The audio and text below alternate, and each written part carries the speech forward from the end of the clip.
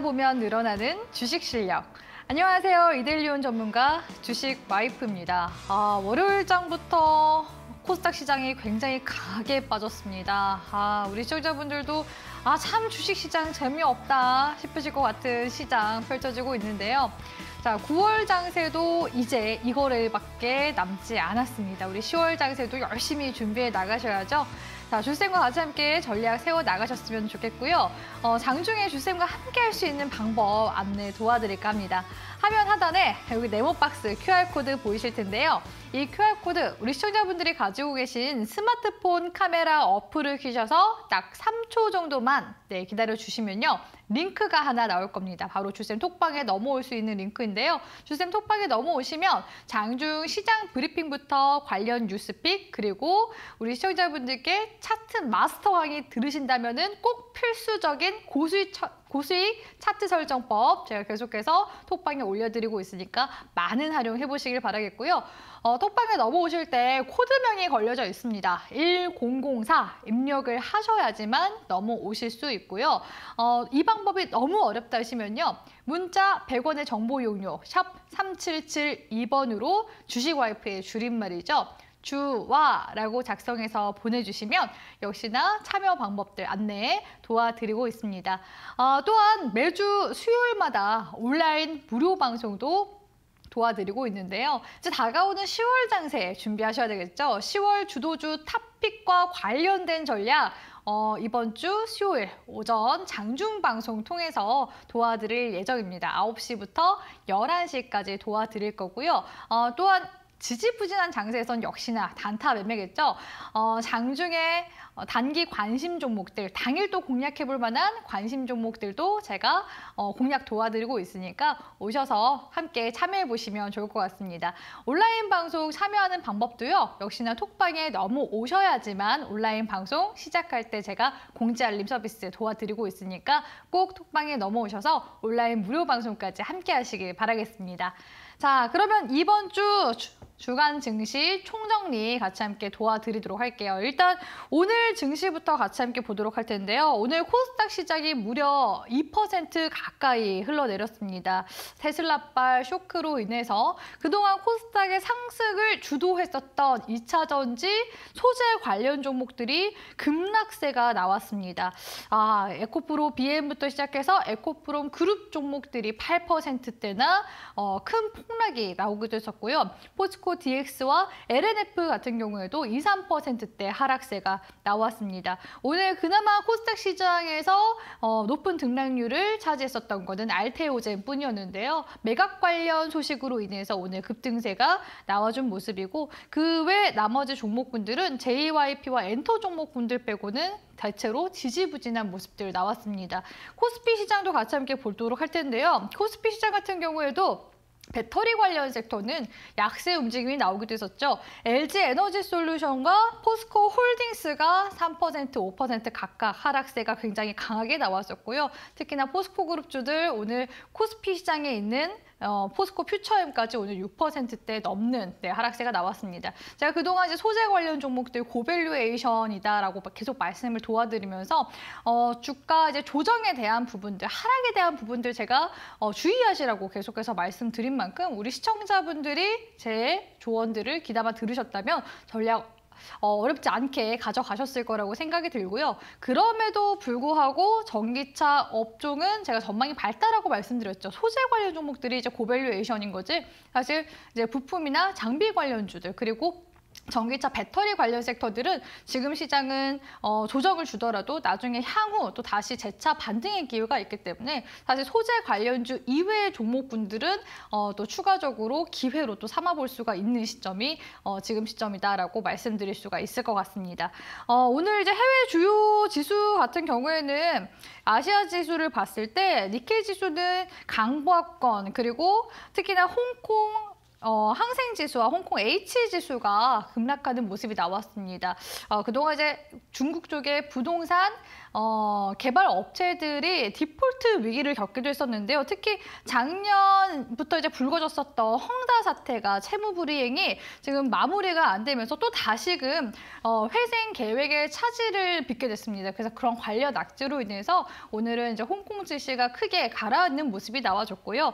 어, 우리나라뿐만 아니라 중국 같은 경우에도 다음 주 어, 연휴가 굉장히 깁니다. 국경절부터 시작해서 춘추절까지 연이어서 어, 연휴가 있기 때문에 이 불확 시장의 불확실성이 있을 때는 아무래도 기관들도 차익 실현에 나설 수밖에 없겠죠. 그러다 보니까 시장이 좀 관망세가 짙은 모습들 어, 지속적으로 나와주고 있고요. 이런 재미없는 장세 네, 지난주에도 말씀드렸지만 이번 주 이제 삼거래 계속 좀 이어질 가능성이 높다라고 말씀드릴 수가 있을 것 같습니다. 다음 주까지는 좀 비슷한 움직임이 가지 않을까 싶은데요. 일단은 중국 증시가 금요일까지는 휴장일이기 때문에 사실상 이 중국 증시에 또 어, 이런 영향을 받으면서 시장 자체가 계속해서 눈치 보기로 갈 가능성이 높지 않을까라고 보고 있습니다. 그래도 긍정적으로 이제 볼 수 있는 네, 부분이라고 한다면 어, 이번 주 한중일 외교 이제 고위급 회의가 있기 때문에 중국 소비 섹터들 움직임이 좀 긍정 긍정적으로 나올 수 있다라는 부분과 함께 수요일에는 반도체 쪽에서 마이크로 이제 실적 발표 소식이 있습니다. 그래서 마이크로 실적에 따라 우리나라 국내 반도체 업종들 움직임 나오는지 눈여겨 보시는 게 좋을 것 같다라고 말씀을 드리고 싶은데요. 오늘 장에서 특히나 어, 코스피장도 약세 움직임 나올 때 어, 견조하게 삼성전자 움직임이 나와줬기 때문에 이 반도체 섹터군들의 반전에 움직임이 어 이제 다다음 주 기점으로 나와주지 않을까라는 부분들도 살짝 이제 좀 기대를 해볼 수가 있을 것 같습니다. 전반적으로 이제 9월 증시는 이제 지나가고 있는 있기 때문에 전통적으로 이제 9월 증시 같은 경우에는 어 약세장 조정장이 나오곤 했습니다. 그렇다면 10월, 11월 증시는 어땠을까요? 10월, 11월 증시는 예, 9월 조정장 이후에는 항상 또 반등이 어, 역사적 패턴으로 나오기도 했었습니다. 그래서 9월 달부터 이제 양도세 해피 물량이라든지 이런 이제 불확실성으로 인해서 차익 실현이 좀 나와주고 10월 달에는 또 실적 모멘텀을 타고서 종목군들이 또 반등으로 전환이 또 될 수 있는 그런 이제 분위기들이 만들어지기 때문에 제가 봤을 때는 코스닥 시장보다는 10월 달 증시가 코스피 시장에 조금 더 우호적인 어, 반등 장세가 나오지 않을까라고 보고 있기 때문에 우리 시청자분들도 가지고 계신 종목 장 떨어진다고 하고 매도하지 마시고요. 일단은 보유하시는 전략으로 가져가시는 게 더 좋다고 생각하고 주도주 계속해서 우리 시청자분들이 잘 지고 계시라는 조언도 아낌없이 드리도록 하겠습니다.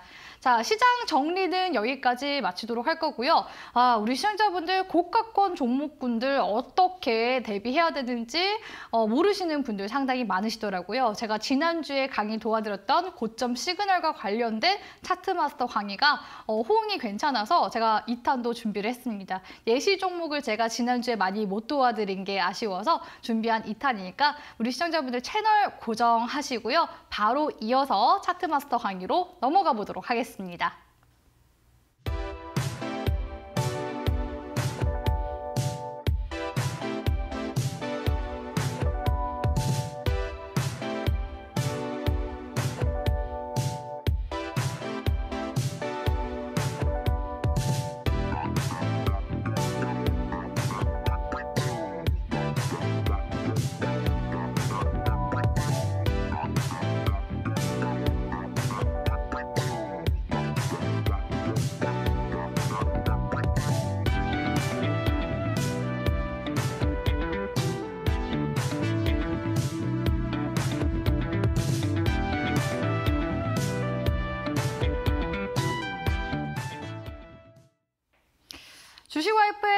마스터 강의 고점 시그널 강의 두 번째 시간입니다. 어, 저 첫 번째 시간 못 들었는데 어떡하죠 하시는 분들 괜찮습니다. 오늘 제가 추가적으로 복습 도와드리면서 오늘 연이어서 2탄 강의 진행 도와드리도록 할게요. 자, 이 주식와이프의 차트 마스터 강의는요. 초보자분들도 전문가 수준의 어, 우리 실력을 가질 수 있도록 차트 마스터가 우리 시청자분들 될 수 있도록 도와드리는 강의입니다. 어, 제가 보니까 우리 톡방에 들어오신 분들 중에서 아, 차트 마스터 강의로 도움 정말 많이 받고 계시다 하시는 분들도 후기 올라오고 있더라고요. 어, 제가 그동안 지금 1강부터 오늘 강의까지 하면 25강까지 지금 진행하고 있거든요. 앞에 강의 보고 싶다 하시면 톡방에 넘어오세요. 톡방에 넘어오시면 이전 강의 녹화 방송 볼 수 있도록 제가 목록으로 쭉 정리를 도와드렸거든요. 그래서 기존에 못 보셨던 분들도 강의 목록 보시면서 공부하실 수 있게끔 도와드리고 있고요. 어, 또 강의 보실 때 PDF 자료 제가 계속해서 제공 도와드리고 있거든요. PDF 자료도 제본 뜨셔서 공부하시는 분들 계시니까 필요하신 분들은 꼭 톡방에 넘어오셔서 PDF 자료까지도 같이 함께 잘 활용해 보시길 바라겠습니다. 자, 그리고 차트마스터 강의를 더더욱 풍성하게 들을 수 있는 방법이 있죠. 바로 뭐냐? 자, 강의 처음 들으신 분들 계실 것 같은데 바로 주쌤의 이 차트, 고수익 차트 설정법을 보고 주쌤의 이 차트처럼 똑같이 예, 따라 어, 따라서 설정을 하셔야 된다라는 겁니다. 자, 전문가 분들마다 차트 설정하는 방법이 각기 다릅니다. 전문가분들의 주관성에 따라 차트 분석하는 방법이 다 각기 다르기 때문에 어, 정말 중요하게 보는 보조지표나 뭐 가격 이동 평균선이나 이런 부분이 다를 수 있거든요. 그래서 주쌤의 이 차트 똑같이 전문가처럼 저도 차트 설정하고서 보고 싶어 하시는 분들 톡방에 넘어오시면 이 고수익 차트 설정법 예, 제가 영상 올려드린 거 보실 수 있으니까 어, 꼭 톡방에 오셔서 고수익 차트 설정법 영상 보시고 따라서 차트 차트도 설정해 보시길 바라겠습니다. 자, 이 고수익 차트 설정법 강의 영상 보는 방법 다시 한 번 더 안내 도와드리도록 할게요. 화면 하단에 네, 네모 박스 QR코드 보이실 텐데요. 이 QR코드 우리 시청자분들이 가지고 계신 스마트폰 카메라 어플을 키셔서요.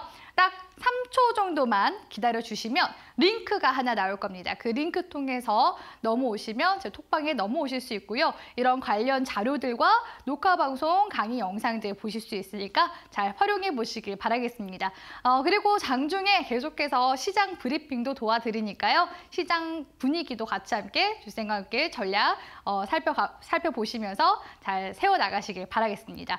자, 그럼 오늘 강의 내용으로 함께 넘어가 보도록 할게요. 자, 역시나 빈 화면에서부터 시작을 해보도록 하겠습니다. 어, 지난 강의에서 이 종목을 볼때 고점 시그널 이제 여러 가지 있다라고 해서 제가 설명을 도와드렸었는데 오늘 여기에서 이제 플러스 한 가지 더 추가해서 강의를 또 도와드리도록 할게요. 일단 지난 강의에서 어떤 내용들을 제가 도와드렸었냐 종목들이 우리 시청자분들 가장 지금 어려워하시는 부분이 매도에 대한 부분이잖아요. 최고점에서 매도하는 방법 사실 그거를 알면은 다 부자가 될 겁니다. 그래서 저도 전문가 활동을 하면서 우리 시청자분들께 또 수많은 종목들을 또 매매를 도와드리면서 제가 또 여러 가지 본 어, 결과 공식들이 몇 가지가 있었다라는 부분들 노하우를 제가 전수 도와드리도록 할게요.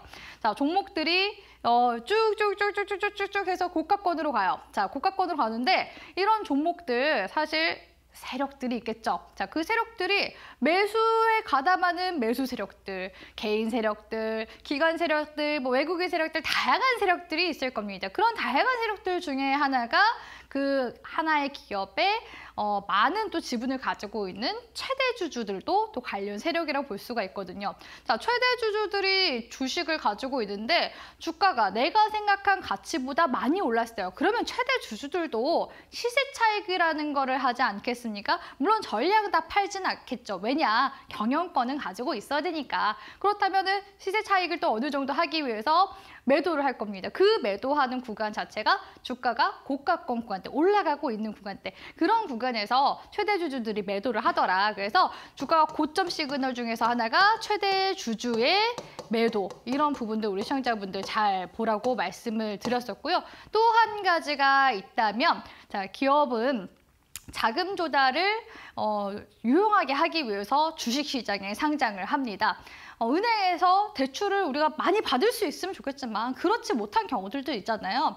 그렇기 때문에 이제 한국거래소에 상장을 해서 투자자들을 상대로 자금을 조달을 받을 수 있게끔 또 도와주는 게 이런 이제 거래소의 거래소의 또 순기능이라고 볼 수가 있거든요.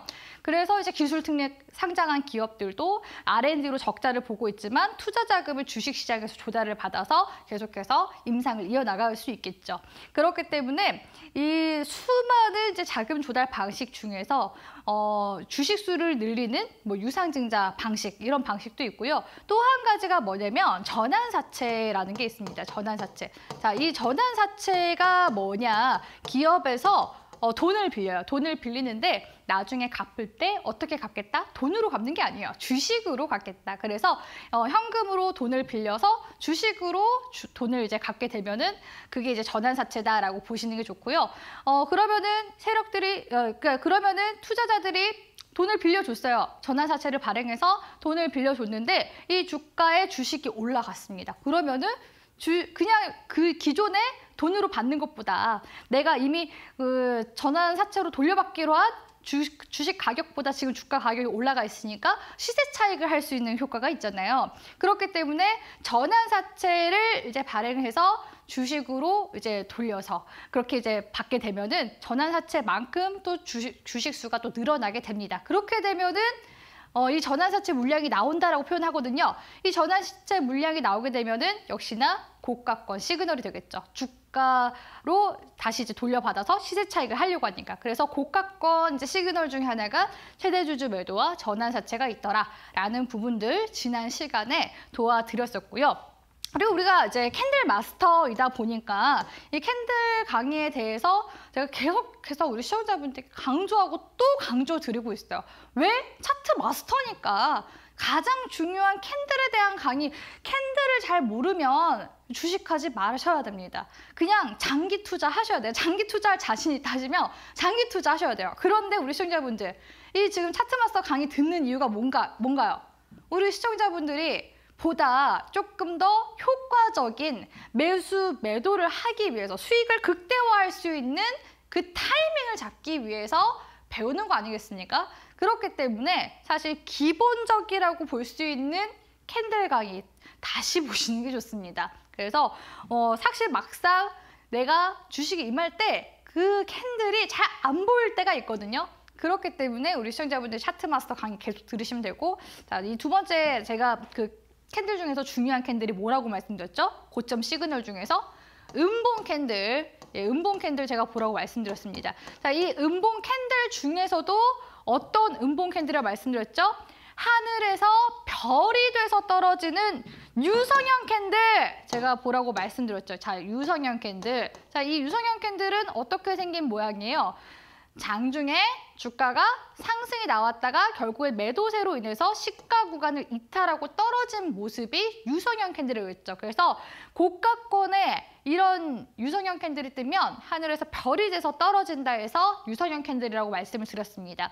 자, 그리고 그 다음으로 이제 중요한 캔들이 위 아래 꼬리가 달린 팽이형 캔들 중요하다고 말씀드렸죠. 자, 이 팽이형 캔들 같은 경우도 마찬가지로 장중에 양봉으로 주가가 올라요. 시가 이상으로 주가가 올라갑니다. 그런데 매도세로 인해서 주가가 빠져요. 그러다가 다시 대기 반발 매수세로 인해서 들어오면서 마감한 모습이 이 팽이형 캔들이라고 볼 수가 있겠는데요. 결론적으로는 시가 구간을 둘 다 이탈했다라는 특징을 가지고 있잖아요. 그러니까 매도 심리가 강하다라고 보시는 게 좋습니다. 그래서 이러한 음봉 캔들이 유성형 캔들과 팽이형 캔들이 두 개가 떴을 때는 사실 피하는 게 좋다라고 말씀을 드렸었고요. 이 부분을 모르겠다 하시면 어, 앞에 제가 2강, 3강, 4강 걸쳐서 방대하게 캔들 강의 제가 진행해 놓은 게 있으니까 그 강의 내용 복습해서 보시는 게 좋겠죠. 그래서 오늘 뭐 앞에 있는 강의들 들으신 분들은 복습하시면서 따라오시는 겁니다. 자, 근데 이런 이제 음봉 캔들 같은 경우에도 법칙이 있습니다. 어떤 법칙들이 있냐? 이 음봉 캔들이 그냥 뜨면 안 되겠죠. 거래량이 터져야 돼요. 거래량. 자, 근데 어떤 거래량이 터져야 되겠습니까? 네, 대량 거래량이 터져줘야 되겠죠. 근데 이 거래량 같은 경우에도 역시나 전문가 분들마다 설정해 놓은 거래량 차트가 다 달라요. 자, 이 차트 보시면 차트 아래 막대기 이렇게 나와 있는 거 있죠? 그게 거래량 차트예요. 근데 이 거래량 차트가 또 줄셈만의 또 비법인 또 거래량 차트가 있거든요. 기존에 그냥 기본적인 설정으로 하시면 이 거래량 차트가 제가 우리 시청자분들께 설명드리는 차트랑 다를 수 있습니다. 그렇기 때문에 고수익 차트 설정법 보시고 차트를 우리 시청자분들이 똑같이 설정하셔야 예, 강의 따라오시는데 수월하세요. 그래서 이 거래량 차트를 설정을 하시고 대량 거래량이 중요하다 말씀드렸죠. 자, 이 대량 거래량이라는 것은 뭐냐라고 했을 때 거래가 이날 당일날 굉장히 많이 일어났었다라는 겁니다. 근데 제 차트, 차트를 고수익 차트를 우리 시청자분들이 설정을 하셨으면 이 대량 거래량이 어떻게 뜰 거냐면 파란색 음봉 막대기로 뜰 거예요. 아래 부분에서. 자, 그러면은 이거는 이제 뭘 의미를 하냐? 예, 이거 매도세가 많이 나왔다는 거 아니에요? 이렇게 보실 수가 있는데 이날 대량 거래량이 터져서 거래가 많이 일어났는데 매수세보다는 예, 매도세가 더 강했다라는 의미로 해석을 하시는 게 좋습니다. 그래서 이렇게 음봉 캔들과 함께 대량 거래량이 고가권에서 터지게 됐을 때 그럴 때는 주가가 이제 하방으로 갈 수 있는 차익 실현이 나올 수 있는 그런 시그널이기 때문에 주의를 하셔야 된다라고 말씀을 드렸고요. 여기다가 보충으로 추가적인 꿀팁! 네, 꿀팁을 하나 더 네, 드리자면 네, 뭐가 중요할까요? 자, 주가가 올라가죠. 이렇게 올라가는데 보통 이런 음봉 이런 음봉이 나올 때는 자, 시가 구간에서 올라갔다가 내려간 거잖아요. 그러니까 시가 구간에서 올라갔다 이렇게 내려간 거니까 갭이라는 게 발생을 해요.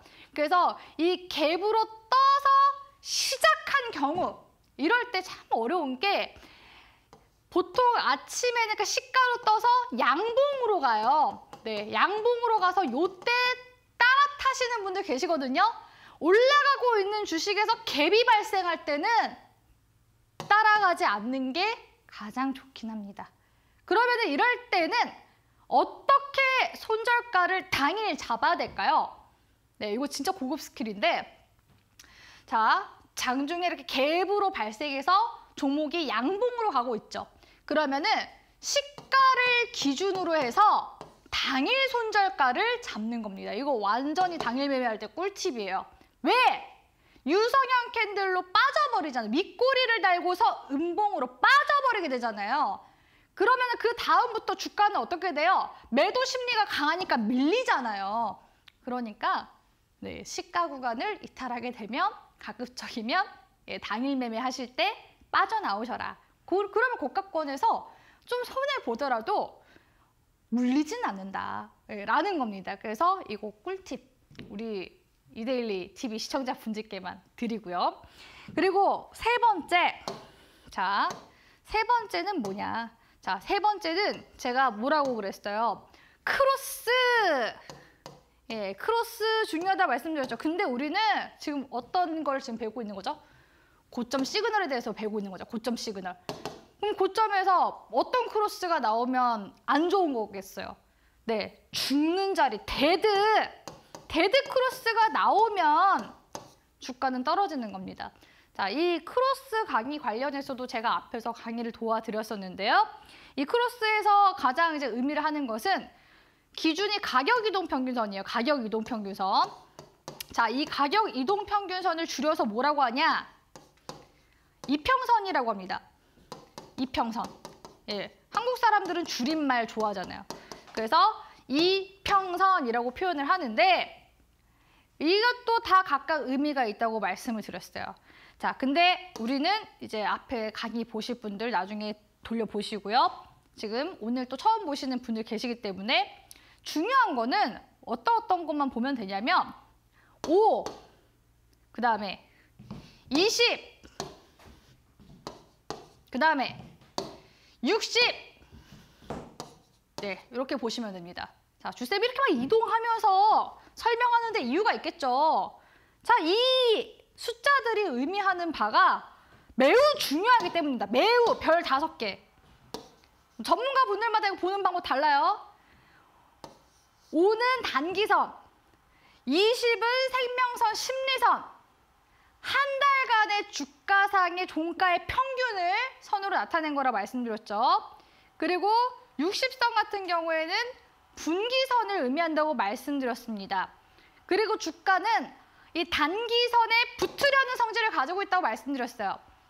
근데 이거 어떤 전문가분들은 3일선 보고 11선 보는 사람들도 있는데 사실 대체적으로 주식을 하는 사람들은 어떤 사람들이죠?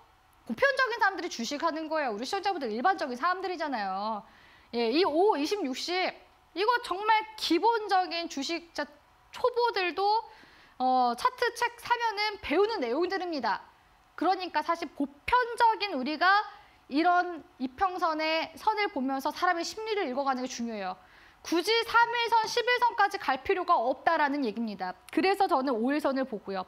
이 5일선은 일주일간의 주가의 종가, 종가 값의 평균을 점으로 딱딱딱 예, 찍어서 선으로 연결한 선이 예, 5선이 되겠죠. 그래서 일봉에 있으면 5일선, 주봉에 있으면 5주선, 월봉에 있으면은 5월선이라고 말씀을 드렸습니다. 자, 그래서 여기서 이제 크로스가 중요한데 이 크로스가 단기선이 단기선이 그럼 방향이 어떻게 가겠어요? 단기선이 이제 위로 가다가 떨어지면은 하방으로 갈 가능성이 높겠죠. 떨어지면. 근데 이 떨어지는 게 뭘 뚫고서 떨어지면요? 바로 이 심리선, 생명선이라고 볼 수 있는 20선을 뚫고 떨어지게 되면 데드 크로스가 되는 겁니다. 그래서 항상 이 주체가 뭐가 되냐? 단기선이 주체가 되는 거야. 단기선의 방향성이 어디로 향하고 뭘 뚫어주느냐 이게 중요하다고 말씀드렸죠. 그래서 데드 크로스가 고가권, 고점 종목들 있죠. 저점 대비해서 2, 300% 이상 올라간 종목들을 저는 고점 종목이라 보고요. 거기서 이런 21선을 이탈한다 하면은 조심하셔라. 근데 만약에 20선을 이탈하지 않고 단기선이 이 20선을 지지받고 올라가는 경우 있어요. 그럴 때는 어떻게 해요? 보유하시면 됩니다. 그래서 이 가격 이동 평균선의 역할이 어떤 역할을 한다고 말씀드렸죠? 사실상 지지와 저항의 역할을 한다라고 말씀을 드렸습니다. 그래서 이 5일선, 5주선, 5월선이 이렇게 심리적인 생명선인 이런 20선 구간대를 이탈하게 된다. 그러면은 떨어지는 구간이기 때문에 주의하라고 말씀드렸고 여기서 추가적으로 60선까지 이탈하게 되면 주가가 중장기적으로 빠질 가능성이 높다 라고 말씀드렸습니다. 그래서 가급적이면 첫 번째 데드크로스가 떴다 하면 분할로 매도를 하시거나 내지는 그 전에 이런 음봉 시그널이 나왔다면 여기서 매도를 하고 최종적으로 dead cross 나오면은 끊어내시는 게 가장 좋겠죠. 이런 식으로 이제 매도, 매매를 하시고 그리고 네 번째 자 네 번째는 패턴 네 패턴이 정말 중요해요. 근데 제가 역발상 패턴이라고도 말씀드렸지만 이 패턴도 상승 반전형 패턴이 있고 하락 반전형 패턴이 있죠. 그럼 하락 반전형 패턴이 뜨면 우리 매매하셔야 돼요? 매매하지 마셔야 돼요? 매매하면 안 되는 거예요. 자, 이 고가권에서 종목이 앞에 항상 종목이 고가권 고점을 한번 찍어주죠. 그리고 주가가 내려가요. 또 다시 주가가 올라옵니다. 자, 반등 줄 때 저는 이럴 때 이 앞에 있는 구간대를 기점으로 해서 공략을 하자라고 말씀드리잖아요. 사실 목표가를 잡을 때 우리는 쌍봉이나 이런 구간대, 패턴 구간대를 목표로 잡을 수가 있어요. 근데 맞고 떨어지는 구간에서 이상하게 여기를 눌림목이라고 생각해서 들어가시는 분들이 계세요. 근데 결국에 주가 떨어져 버리죠. 그러니까 쌍봉 맞으면 사실 들어가시면 안 돼요. 이런 구간 들어가시는 게 아니라니까요. 그리고 또 패턴 중에서 three봉 패턴, 네, 3봉 패턴이라고 하죠. 그리고 머리 어깨 패턴, head and shoulder 패턴 등이 있습니다. 그래서 이런 패턴들이 고가권에서 떴을 때 주의하시라 말씀드렸고 항상 이렇게 우리가 차트를 볼 때 중요한 거 중요한 거 뭐예요? 일봉 있어요, 주봉 있어요, 예, 월봉 있어요. 그러면 신뢰도가 뭐가 높다고 말씀드렸습니까? 일봉보다는 주봉. 주봉보다는 월봉이라고 말씀드렸죠. 그래서 주 월봉을 기점으로 해서 특히나 이런 크로스나 패턴이 떴을 때는 특히나 주의를 하시는 게 중요하더라라고서 별표 치시길 바라겠습니다. 자, 그러면 실전 사례로 같이 함께 넘어가 보도록 할게요. 자, 이 종목 같은 경우에는 제가 3월 달에 우리 시청자분들께 상위 1% 투자 병법이라는 예, 이데일리 방송 나오면서 관심주로 드렸었던 종목입니다. 지금은 사명이 변경되었어요. 포스코 DX로. 근데 제가 이때 이제 사명 변경 전에 포스코 ICT라는 종목을 우리 시청자분들께 제시를 도와드렸습니다.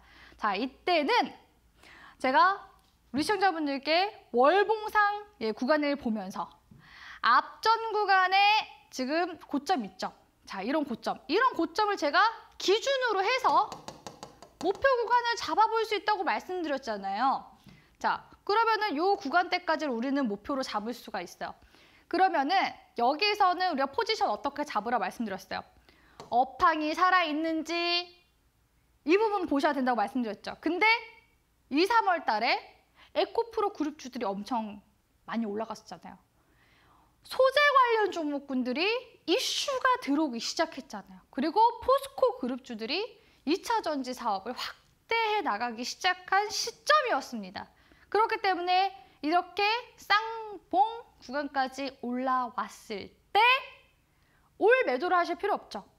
일부 뭐 3분의 1이나 내지는 보수적으로 반매도 네, 2분의 1 정도 이 정도 매도하고 나머지 잔량 있죠?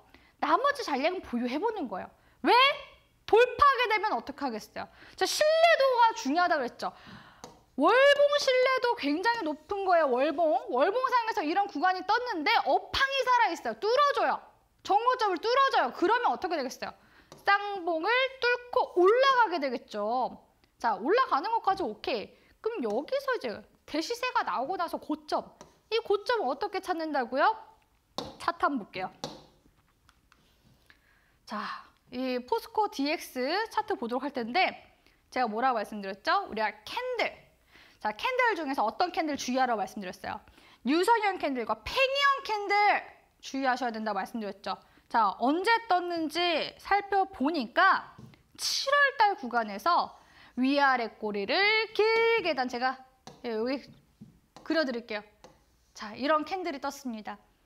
자, 사실 이 팽이형 캔들이 이렇게 이제 몸통도 있는 상태로 있는데 얘가 지금 몸통 구간이 없잖아요. 자, 이거는 무슨 의미냐?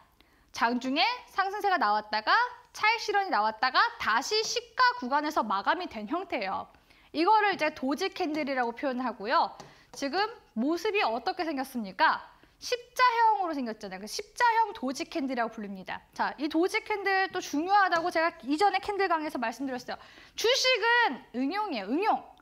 어, 우리가 개념만 알고 있으면 안 되고 이거를 활용을 해야지 완전히 내게 되는 겁니다. 자, 이런 doji candle이 떴어요. 응? 그럼 doji candle이 뜨면 이건 무슨 의미냐? 고가권에서 뜨면은 떨어지는 시그널. 아래 하단에서 저가 구간에서 뜨면 상승 시그널이 되는 거예요. 근데 주가가 이미 어때요? 저점 대비해서 6천 원대 대비해서 이미 4만 원대까지 올랐잖아요. 어마어마하게 올랐잖아요. 사실 제 관점에서는 이 구간에서 매도를 하시는 게 좋았다. 예. 사실 제가 매매했으면 이런 구간에서 차익 실현을 했을 거예요. 예, 3분의 1 내지는 반매도. 그리고 뭐라 말씀드렸어요? 자, 두 번째 고점 시그널 뭐라 말씀드렸죠? 아, 세 번째인가요? dead cross. 자, 단기선을 보라고 말씀드렸죠. 이래서 차트 설정법 우리 시청자분들이 영상을 보셔야 돼요. 전문가 분들마다 이평선 색상 설정하는 게 다 다릅니다. 근데 주쌤은 5일선, 네, 5일선은 중요하니까. 주가는 5일선에 붙으려는, 5선에 붙으려는 성질을 가지고 있기 때문에 중요하니까 핑크색으로 제가 설정을 했고요. 그리고 삐용삐용 주의해야 되니까 조심하라고 네 조심하라고 20선은 심리선, 생명선, 외우기 쉽잖아요. 파란색 조심하면 되는구나. 이 파란색 구간을 넣으면은 주가가 떨어질 수 있구나. 그리고 그 다음에 주가가 아래에서 위로 60선 구간을 역배열 상태에서 뚫고 올라가면 돈이 쏟아진다고 해서 황금선. 근데 반대로 이 5일선이 20선 아래로 뚫었어요. 60선까지 뚫었어요. 그럼 하방으로 갈 가능성이 높겠죠. 60선 구간을 아래에서 위로 뚫어줄 때가 좋은 거예요. 그래서 각각 의미하는 색상들이 다르기 때문에 차트 설정법 영상을 보라고 말씀을 드리는 겁니다. 꼭 설정하셔야 되겠죠, 우리 시청자분들. 자, 그래서 dead cross가 5일 이평선이 20일 이평선을 뚫고 아래로 가야 된다고 말씀드렸죠. 자, 그러면 이 차트상에 어디에서 나왔는지 볼까요? 바로 여기. 자, 음봉 candle 나왔죠? 여기서 한번 차익 실현 해주는 게 좋다고 했죠? dead cross 나왔죠? dead cross. 네, 요럴 때. 요럴 때 추가적으로 저 같으면 매도를 했을 거예요. 그런데 쌤, 8월 달에 dead cross 나오고 그대로 더 빠진 게 아니라 올라가 버렸잖아요. 이럴 수 있어요. 네, 이럴 수 있어요. 자, 그러면 이런 거는 어떤, 어떤 사람들이 대응을 하는 거냐? 제가 처음에 드렸던 3월달 구간을 사셨던 분들 있죠. 이런 분들 수백 퍼센트 수익인 거예요. 예, 수백 퍼센트. 자, 이럴 때는 앞에 있는 구간대 있죠. 지지 구간을 찾습니다. 지지 구간. 자, 지지 구간. 근데 지지 구간을 이탈을 안 했어요. 그러니까 사실 저는 dead cross가 나왔을 때 매도를 해도 적당히 먹고 빠져라. 예, 주쌤은 어깨서 파는 걸 선호해요. 다 먹으려고 하면은 다치거든요. 예, 여기서 매도하는 게 좋은데 올라갔잖아요. 자, 그러면은 여기서 추가적으로 내가 봤을 때 여기가 고점이었는데 다음 구간까지 올라갔어요. 근데 여기서 dead cross가 떴죠. 지금 최근까지 흘러가고 있는 주가의 모습이거든요. 여기서는 무조건 파셔야 되는 구간이고 무조건. 그러니까 포스코 DX 가지고 계신 분들은 그냥 가급적이면 이제 정리하시는 게 좋다라는 결론이 나오는 거죠. 자, 뒤에 제가 또 예시 종목들 포스코 DX뿐만 아니라 포스코 엠텍도 제가 400%대 예, 수익 구간 내드리기도 했었고 이후에 또 이제 뒤에 우리 시청자분들이 또 많이 종목 상담 요청 주시는 종목들 중에서 에코프로 이제 그룹주들도 있어서 제가 설명을 도와드리려고 했는데 예, 시간 관계상 자 제가 자료 우리 시청자분들께 올려드리도록 할 테니까 고점 시그널 찾아보세요. 아 지금 제가 예시 종목 보는데도 고가권에서 뭐가 떴는지 보이네요. 자 우리 시청자분들이 직접 하셔야지만 본인께 되는 겁니다. 예, 주쌤 톡방에 넘어오셔야지 이런 PDF, 차트마스터 PDF 자료 받아보시면서 공부하실 수 있고요. 주쌤의 고수익 차트 설정법 역시도 보시고 차트 설정 따라하시면 좋겠죠. 자, 일단은 이 개념적인 부분들 제가 설명 도와드렸고요. 실전 사례에서 또 어떻게 우리가 어, 고점 시그널을 통해서 매도해야 되는지 자리 이동해서 도와드리도록 하겠습니다. 잠시만 기다려주세요.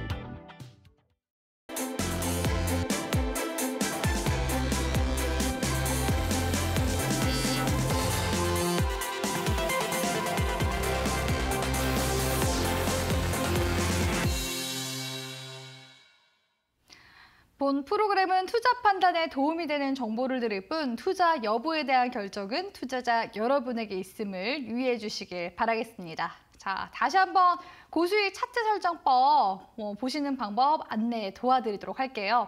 네, 화면 하단에 네모 박스 QR코드 예, 보이실 텐데요. 이 QR코드 우리 시청자분들이 가지고 계신 예, 스마트폰에 카메라 어플 있죠. 이 카메라 어플, 기본 어플을 키셔서 3초 정도만 기다리시면 따단 링크가 하나 나올 겁니다. 성격 급하게 어, 안 나오네 하지 마시고요. 예, 3초 정도만 딱 기다려주세요. 음, 링크가 하나 나올 텐데 그 링크 통해서 주쌤 톡방에 넘어오실 수가 있고요. 코드명이 걸려져 있습니다. 코드명 1004 입력하셔야 넘어오실 수가 있고요. 어, 톡방에 들어오시면 이런 어, 고직 차트 설정법뿐만 아니라 PDF 자료 그리고 장중에는 시장 분석 제가 실시간으로 브리핑 도와드리고 있기 때문에 많은 활용해 보시길 바라겠습니다. 자 그러면 실전 사례 추가적으로 예, 도와드리도록 할게요. 자 제가 우리 시청자분들께 매매해드렸던 종목 중에 한주 라이트 메탈이라는 종목을 같이 함께 보도록 하겠습니다. 자, 이 종목 같은 경우에는 제가 3월 27일에 우리 시청자분들께 드렸던 종목인데요. 어, 기존에 이 종목을 이제 공략했었던 방법들은 제가 이전 강의에서도 많이 도와드렸을 겁니다. 3월 달 이제 기점으로 해서 대량 거래량과 함께 수급이 들어와 준 모습이 한주 라이트 메탈을 통해서 어, 포착이 됐었고요. 제가 이 캔들 기점으로 해서 시세가 전고점 구간대를 지금 캔들 구간대, 머리 구간대를 돌파해 주려고 하는 시도가 나와주고 있어서 우리 시청자분들께 공략을 도와드리기도 했었죠. 자, 이후에 주가가 어떻게 흘러갔냐? 야, 지금 또 추가적으로 거래량이 들어와줬어요. 그럼 상승 시그널이겠죠. 주가는 단기선에 붙어 있으려는 성질을 가지고 있는다라고 말씀을 드렸죠. 자, 캔들이 단기선을 타고 쭉쭉쭉쭉 올라갑니다. 오, 7,260원까지 올라갔고요. 그 다음 예, 8,240원 구간까지 올라갔어요. 자, 여기서가 이제 중요하다라고 볼 수가 있는데 자, 이 대량 거래량 터지고 나서 그 다음 구간이 어떤 캔들이 나왔죠? 위아래 꼬리를 난 팽이형 캔들 그리고 옆에 대량 거래량이 터졌잖아요. 근데 어떤 대량 거래량이요? 매도세가 위에 있는 그러니까 여기서 한 차례 매수 거래량이 강하게 들어오면서 장대 양봉이 나면서 상한가를 가줬고요. 그 다음에 어떤 이제 심리적으로 어떤 세력들은 어 지금 구간이 고점인데 차익 실현을 해야 되겠어 하려는 심리가 팽이형 캔들에서 나와줬다는 거죠. 그렇기 때문에 이런 구간에서는 제가 우리 시청자분들께 어떻게 말씀드렸죠? 일부 매도를 하세요. 시세 차익을 하시라는 얘기죠. 그리고 중요한 거 이런 음봉 캔들이 어떤 구간에서 뜬다고요? 갭상승을 해서 떴잖아요. 갭상승. 그러니까 시가 대비 시가가 올라가서 예, 시, 그 형성이 되었다는 겁니다. 그렇기 때문에 차익 실현에 대한 욕구가 더 커질 수밖에 없어요. 그래서 이런 구간에서는 매도를 하셔야 됐다. 자, 어때요? 그 다음 날부터 음봉 나오죠? 그러니까 우리 시청자분들 괜히 욕심 더 부리면 손실이 생긴다. 라는 겁니다. 자, 어라라 주가가 더 빠집니다. 더 빠져요. 자, 이럴 때 단기선 보세요. 핑크색 선. 핑크색 선 보라고 말씀드렸죠. 단기선. 단기선이 심리선 생명선 20선 구간을 하방으로 이탈하면 어떻게 말씀드렸어요? 정리하시면 되는 거예요. 제가 공략 도와드린 시점 대비해서 이미 올라갔죠. 수익 챙겼잖아요. 사실상 단기 이평선 밑에 떨어질 때 여기서 정리하시는 게 가장 베스트한데 제가 우리 시청자분들께 데드 크로스에 대해서 알려드렸잖아요. 데드 크로스만 아셨어도 최종 정리하는 데 있어서 어렵지 않았다라는 겁니다. 자, 이후에 주가 움직임 볼까요? 주가가 쭉쭉쭉 더 떨어졌습니다. 자, 그래서 지금 현재 움직임 어떻다고요? 이렇다고요. 그러니까 우리가 캔들을 이렇게 당겨서 보면은 잘 몰라요. 나중에 지나가 보니까 아, 이 구간이 고점이었구나 하는 거거든요. 그런데 제가 뭐라 그랬어요? 이런 캔들 시그널만 아시더라도 우리 시청자분들이 고점 시그널 찾아내는 거 무리가 없었다라는 거죠. 그렇기 때문에 이 음봉 캔들 찾는 거 제가 과제 넣어놨거든요. 과제 보시고 우리 시청자분들이 스스로 찾아보시길 바라겠습니다. 자, 그 다음에 데드크로스도 우리 함께 찾아볼까요? 데드크로스. 대덕전자 한번 보도록 하겠습니다. 자, 이 대덕전자라는 종목 5월 달에 제가 우리 시청자분들께 드렸었던 예, 종목입니다. 자, 5월 26일 날 드렸었던 종목이거든요. 자, 5월 26일 당시 역시나 저는 대량 거래량 들어오는 모습들 항상 보고서 우리 시청자분들께 드려요. 시세가 나오지 않으면 안 드립니다. 시장에서 주목하고 있는 거래가 이루어지는 이런 시점에서 공략을 들어가는 거죠. 그래서 이렇게 장대 양봉 나와준 것을 확인하고 우리 시청자분들께 공략을 도와드렸습니다. 자, 이후에 주가가 어떻게 가는지 볼까요? 주가는 단기선에 붙어 있으려는 성질을 가지고 있다. 자, 주가가 지금 핑크색 선만 보세요. 따라서 잘 갑니다. 오, 보유하시면 되는 거예요. 주가가 데드크로스가 나오지 않았잖아요. 하방으로 가지 않았잖아요. 보유, 보유, 보유 하시면 네, 되겠죠? 자, 보유, 보유. 역시나 또 보유, 보유. 오이고 어디까지 가는 거예요? 보유, 보유. 자, 그런데 7월달 구간 보니까 단기선이 어때요? 20선 구간대 아래로 지금 가려고 하는 모습이 나와줬죠.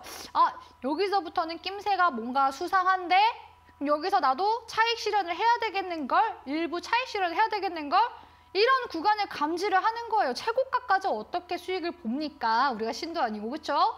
그러니까 이런 어깨 구간 감지를 하는 거예요. 아, 단기선이 지금 20선 구간대를 하방으로 뚫어주려고 하는 이럴 때 차익을 해주거나 고가권에서 들어가신 분들, 따라 들어가신 분들도 이런 구간에서 매도를 미리 어, 관리를 하셔야 되겠죠? 자, 그리고 나서 어떻게 됐나? 어, 아직 완전히 데드크로스가 나오지 않았어요. 그러면 그러면 잔량 가지고 계시면 되는 거예요. 네, 아 다행히 데드 크로스가 나오지 않았구나. 아 지지가 나왔구나. 그러니까 거래량까지. 그래서 우리가 분할 매수, 분할 매도가 중요한 겁니다. 그래서 매수는 기술이고 매도는 예술이라고 하잖아요.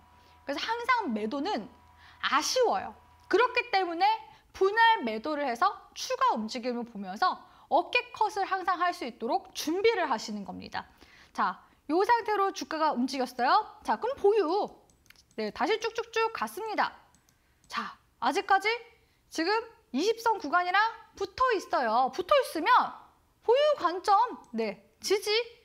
예, 여기서 또 지지. 어, 여기서 또, 또 떨어지네요. 그러면 역시나 추가적으로 분할 매도 준비. 왜?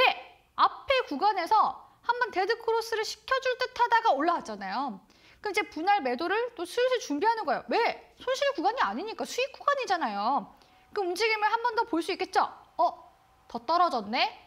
그러면은 여기서는 이제 적당히 내가 끊고 나와야 되겠다라는 걸 이제 고민하시는 분들은 최종 마무리. 그런데 여기서 아니 나는 61선까지 데드크로스로 떨어지면 거기서 정리할래. 어차피 난 지금 수익권이야. 하시는 분들 계시겠죠. 그럼 여기서 또 매도 전략이 갈려요. 여기서 아예 정리하시거나 잔량을 가지고 계시거나. 자, 그랬을 때 어, 이탈 나오죠. 최종 정리. 이렇게 매도하는 겁니다. 우리 시청자분들. 어렵지 않죠? 자, 그리고 마지막으로 패턴. 네, 웰크론한테 한번 볼게요. 웰크론한테 마지막으로. 자, 이 웰크론한텍은 자, 우리가 패턴 볼 때 어때요? 일봉상의 패턴이 딱 떴네요. 11월 달 구간 고점, 네, 3, 4월 달에 떠줬죠. 자, 이런 구간 때 오면은 제가 뭐라 말씀드렸습니까? 우리 시청자분들 매도하시라니까요. 분할로 매도하시라니까요. 여기서 데드크로스 한 번 더 떠요. 최종 매도. 어렵지 않죠? 우리 시청자분들 네 가지 주쌤의 이 고점 시그널 법칙만 아시면 어렵지 않게 매매하실 수 있습니다. 제가 어, 관련 과제 예, 톡방에 자료로 올려드리도록 할 테니까 스스로 찾아보시고요.